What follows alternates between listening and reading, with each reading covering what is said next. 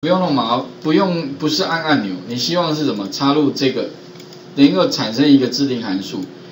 那我前面讲过哦，因为从第一堂课，然后我们就第二堂课，然后就开始讲到自定函数，给他一个东西，那这个东西给他之后，他一样哦，会在那个范围里面比对，也就是你丢一个参数给他，哎，他就帮我把那个范围全部比过，比完之后自动抓到它最上面那一个栏名，然后呢，把这个它的单位名称丢回来给我，并且返还到这个储存格，哎。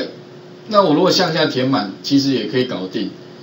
哦，感觉哎这个地方也不错。如果说以后你有类似需求，就是说你要查，可是那个查的不不符合 VLOOK 函数或 h l o o 卡或者 index 其他的规则，那你怎么办？你就干脆自己写一个嘛。那怎么写？类似用这种方式写就啊？怎么？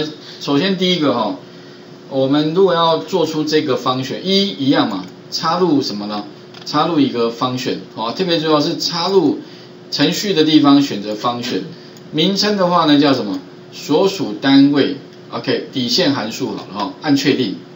所以按确定之后的话，它应该这些东西都没有，它只会这样子。好，那接下来的话我一样嘛哈，就是说，因为方选跟 sub 不，sub 有点像，反正我做完全部都 OK，但是方选是会跟你互动的，所以他会跟你要一个哎。请问一下你要查什么？所以这边的话哦，第一个我们在刮胡里面呢，就加人员人员，哎，它就会跳出一个那个对话方块，一个文字栏位里面呢要填上什么，你就点一下高明明给他，哎，可是给他之后的话呢，接下来我们要做什么？哎，在那个范围里面全部都找一遍，如果找到的话，把上面的。那个那个 A 栏啊，那一栏的那个第一列的资料帮我抓回来啊。其实啊，如果前面我们已经写过那个 sub 的话，其实你可以参考哈，这个 for each 到 next 这个范围，你可以把这个范围怎么样复制一下，放到这边来改了哈。当然最好是如果没得参考，你重写没关系。那我大概因为这样比较快一点呢，我先说明。那再来的话就是 for each。OK，好，所以这边的话，我就用 for each 去跟他讲说哈，哎，帮我把那个某个范围，哪个范围呢？在序词一里面的这个前面的范围，帮我找一下啊，帮我把它一个一个找啊，所以他会怎么样？帮你把 A 二放到 cell 里面，那比的话跟什么比呢？特别注意哦，这个 cell 记得不是跟 A 栏的那个储存格比，而是跟什么？跟人员比，因为如果是 sub 的话。会一个一个去储存格里面抓，但是这边的话是跟什么？跟人员哦，所以他会帮我把这个范围里面的每一个的 cell，他会一个带过来，然后跟他比，哎，是不是高明明？哦，哎，如果是的话做什么？哎，特别注意哦，如果是，我们刚刚是把它丢回到 B 栏，但是现在的话记得哈，如果你要丢回来的话，记得是丢给谁呢？丢给这个函数本身。好，所以记得把这个。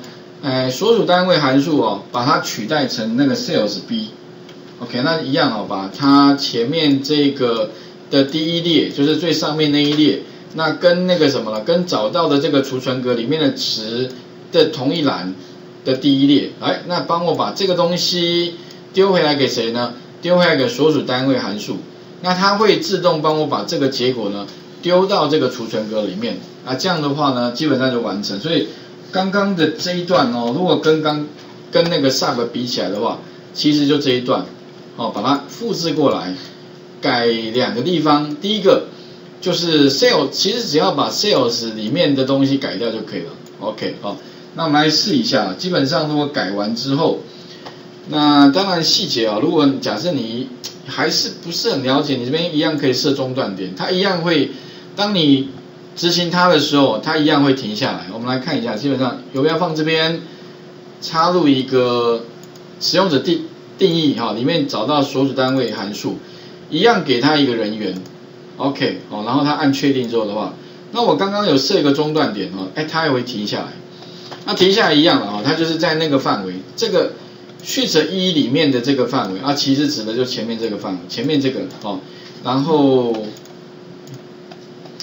再来的话呢，就是哈，帮我比对，所以逐一逐一的比对啊，比对他会第一个抓过来，哎，郑小明一样，第一个人跟高明明一不一样，不一样，啊换下一个，一直往下找，直到找到为止之后的话，他会执行里面的这个啊，所以它哎这个高明明找到了，找到之后的话，他就帮我把什么，把它这个里面的同第一列啊，所以上面那个栏位名称的同一栏哈的啊这位置一定是在第一个工作表啊前面的工作表，把资料帮我带回来，放到储存格里面，OK 哈，啊这样的话呢就跳离回圈。结束方选，那你会发现就抓到了啊。其他的话，当然呢，我们快速点两下，它也会自动去抓其他的啊。比如陈小明，哎，在哪个单位？啊以前的话不知道的话，没有不用这个方法，你变成怎样？你要一个一个去看啊，它会抓 A 单位哈。所以你再验证一下，陈呃刘一二，留一二是不是 F？留一二，哎，留一啊在这里，OK。所以哦，利用这样的方式的话。我们未来啊，假设你有类似的需求，一个储存格跟一个范围比对的话，哦，可以利用类似的方法哦，for each 的写法，好，那画面先还给各位试一下哦。